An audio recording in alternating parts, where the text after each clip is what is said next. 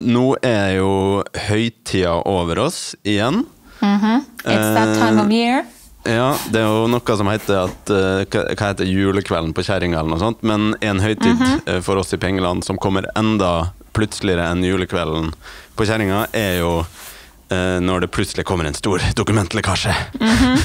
Og det har det gjort nå. Det kommer minst én gang i året, men vi veit aldri helt når. Nei, veit aldri når vi må liksom slippe alt og, og bare Ja, det her ble en rant, eh, merker jeg, men eh, det Ja, men, jo, men det er jo den, Jeg får jo lyst til å rante litt når en ser disse dokumentlekkasjene. Det, det viser jo betydningen. og Det så det er ikke bare det enkle.